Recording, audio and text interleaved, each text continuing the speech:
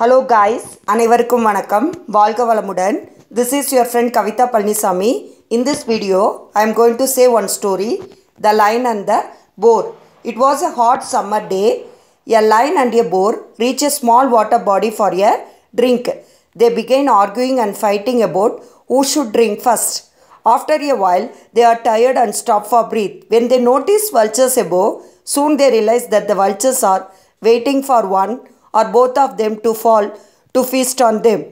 The lion and the boar then decide that it was best to make up and be friends than fight and become food for vultures.